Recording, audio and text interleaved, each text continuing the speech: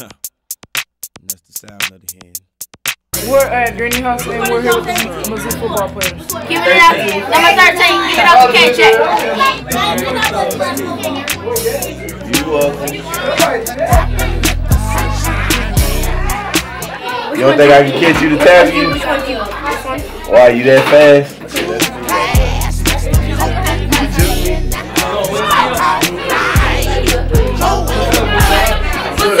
Your tape right here. Look. See me?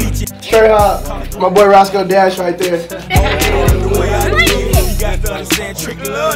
Today we're here at Family Council Center to do a little community service.